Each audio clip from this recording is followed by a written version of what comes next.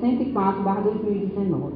Senhor Presidente, na forma regimental nos termos do artigo 115, inciso 2 do Regimento Interno da Câmara de Vereadores, requeiro a Vossa Excelência que, após ouvir a mesa diretora, o doutor plenário desta augusta Casa de Leis, que seja votado e devidamente encaminhado ao Poder Executivo Municipal o seguinte pedido. Solicito ao Poder Executivo Municipal, através da Secretaria de Administração, cópias dos contra-cheques ou folhas de pagamento de todos os servidores contratados, comissionados e concursados lotados na Secretaria de Educação do município de Ribamar-Fiquene, de janeiro de 1998 até dezembro de 2006.